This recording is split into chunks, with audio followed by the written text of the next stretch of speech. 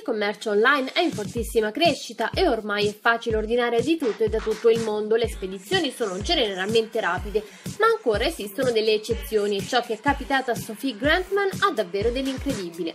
La donna infatti aveva comprato un paio di scarpe per suo figlio Alex, ma quando è andata ad aprire la scatola si è trovata di fronte qualcosa che proprio non aveva ordinato.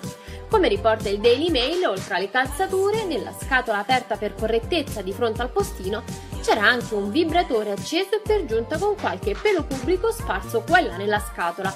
Uno spettacolo inaspettato per la donna che ovviamente si è rifiutata di toccare il bollente omaggio in azione e ha sbrigato in men che non si dica le pratiche per restituire la merce.